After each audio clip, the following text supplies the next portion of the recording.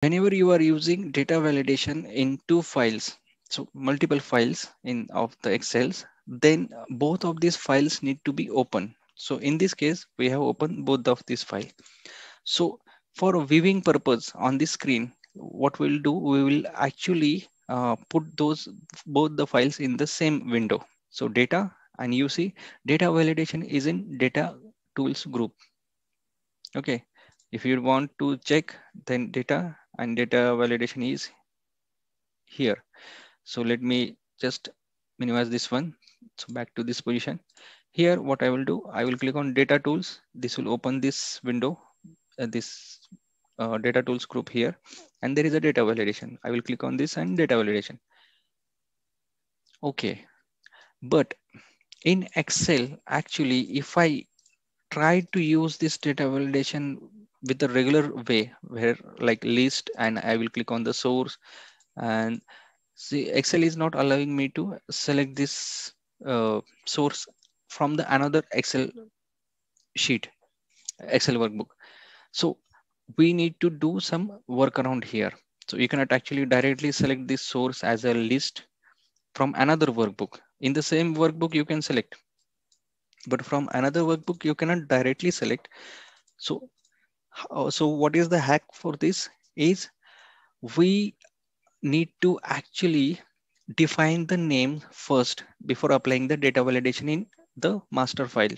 Okay, so for defining name, I go to the formulas tab. Here the define name is here. I will type define name. Okay, now I will type a name which is for this file, a new name.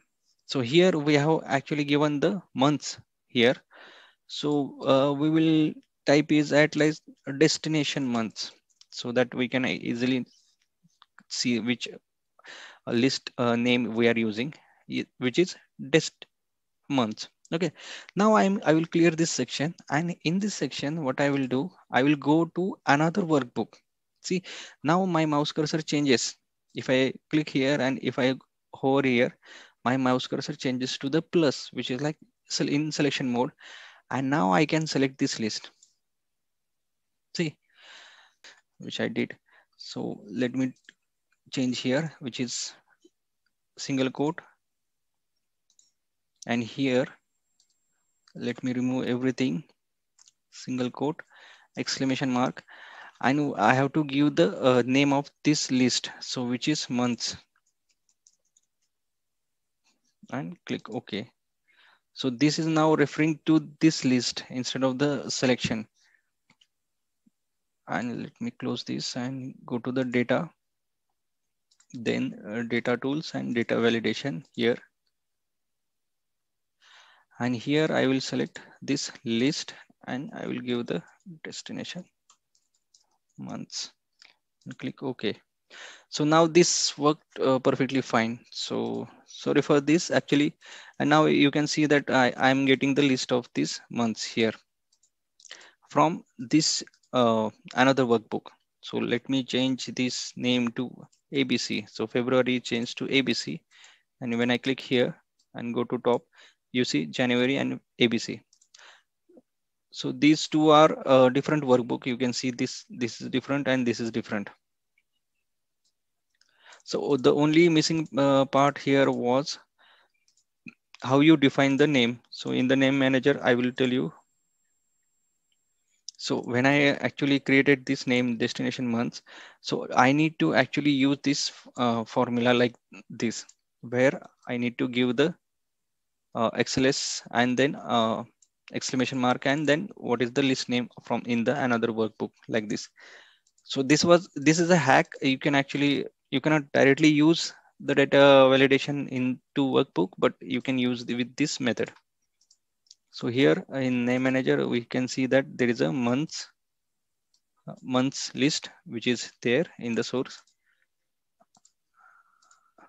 And here in the name manager, we have created another list, but we are referring to the other sheets list. So how we refer here, the file name, then exclamation mark, and then the name of the list from in another file. Once you have actually uh, defined everything then you can actually apply the data validation with the regular method which is like uh, data validation and you just need to give the list name which is there in this current sheet which is dest month so this is quite uh, tricky but uh, whenever we are in situation where we wanted to use the multiple work excel workbook then we can use this method. So now i will do one thing. I will close and save this. And now let me check this data validation. This is not opening my the list. So whenever you wanted to use this data validation like this both of the workbook should be open